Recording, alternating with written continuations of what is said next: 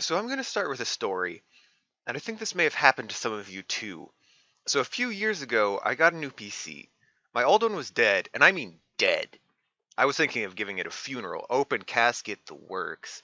Anyway, I had been collecting music for years and years at that point, and figured that I could just copy my music from my iPod to my computer.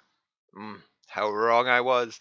If I had synced with my new computer's empty library, all of my precious music would have been erased. So I needed to find a way to get the music from my iPod to the PC.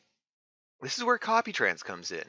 It can transfer music, playlists, and videos from your iPod, iPhone, or iPad to your PC.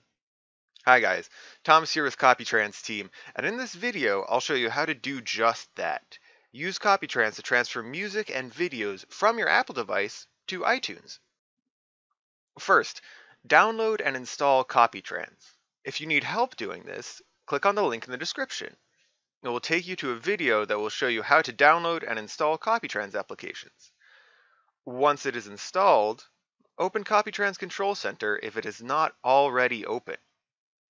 Click Start next to CopyTrans to open it. Now, connect your device. The songs, videos, and podcasts that are on your device will appear in the main window. Playlists and ratings will also be displayed. CopyTrans will automatically compare the contents of your device with the iTunes library and will select the tracks and playlists that are on the device but not on the computer. To start the transfer, simply click on Start Backup.